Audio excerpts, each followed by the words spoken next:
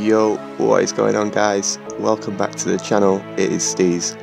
And today's video is just a fight we got the other night. Now this was like a big battle, it was pretty intense, we had no healer.